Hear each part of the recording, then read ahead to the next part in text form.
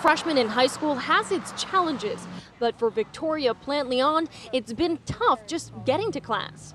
Whenever I'd get on the bus, it's really hard because everyone's sitting in the aisles. This is what Victoria is faced with when she gets on the bus to Seminole Ridge High School. I've been sitting on the floor for the past four weeks, and my knees are hurting. Victoria is the last stop, but says when she gets on, the aisles are already full.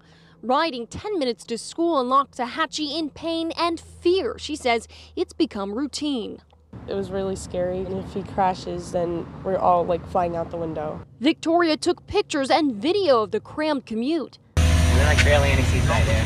When she showed them to her mom, Diane says she immediately called the school. It was just the first week. We're going to work on it. Let give us a time.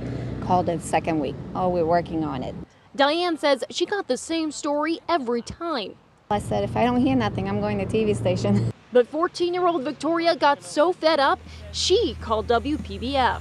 I don't want to keep doing this anymore. I don't want to keep doing this till like I graduate. Victoria says she had to speak up. With every quick stop and tight turn, she's reminded of the risk.